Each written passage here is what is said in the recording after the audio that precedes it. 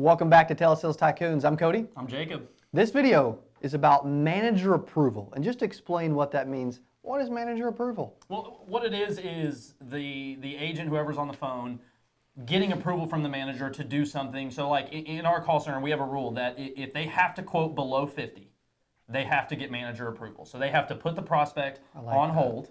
They have to come to me. They have to say, Jacob, here's the situation. I quoted them what we were supposed to quote them. It's not in the budget, and now we have to go below what is our, our threshold. $50.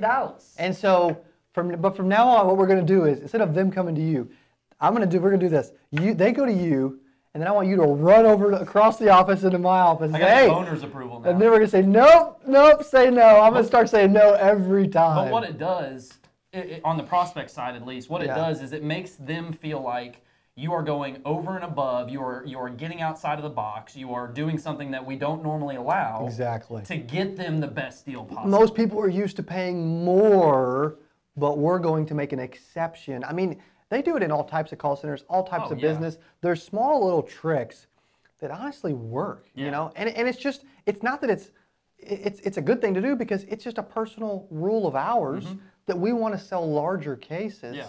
When we can. So yeah, we'll make up that, hey, you got to get manager approval under 50. Well, and, and, and other times it's just that that second voice. So sometimes as a manager to get manager approval, I'll come in on the call.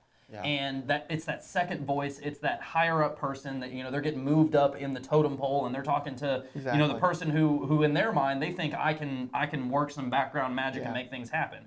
When in all reality, I'm just another voice talking to them. But in their mm-hmm. mind, they're thinking, "Oh, I'm talking to the manager now. have you ever said no?